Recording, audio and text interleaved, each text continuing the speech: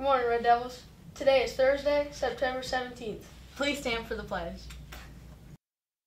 I pledge allegiance to the flag of the United States of America and to the republic for which it stands, one nation, under God, indivisible, with liberty and justice for all. Hey y'all, today we're introducing a new segment called What's Poppin' with Julie and Vera. This new segment introduces new things that are going on in this world right now.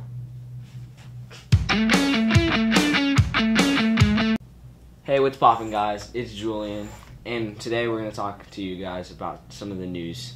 Alright, Microsoft has officially announced the prices for the Xbox Series S and Xbox Series X. Fires are ravaging all over the West Coast, and including states like California, Washington, and Oregon. We feel so bad for everybody that has to go through this. That's it for what's poppin' today, guys. Please stay tuned for a few announcements. This is an important announcement from our principal about the waiting areas before school. Remember, students may not enter the building before the first bell without permission. It is between the times of 8:10 and 8:35. That the waiting areas for 6th and 7th graders are in the gym. 8th grade and high school. If you want to eat, it is in the cafeteria. For the ninth graders, you will stand in the courtyard by the media center. 10th, 11th, and 12th grade. If you want to stand outside, it will be in the courtyard on the high school side. Juniors, as well as any 10th graders who had honors English, And any seniors who still need to pass the reading or writing FSA will be testing September 22nd through the 24th. you will need to look at the rosters hanging up in the hallway to see which testing group you are in. And what teacher's room you'll need to go to on those days. If you have any issues, please contact Miss Hanley.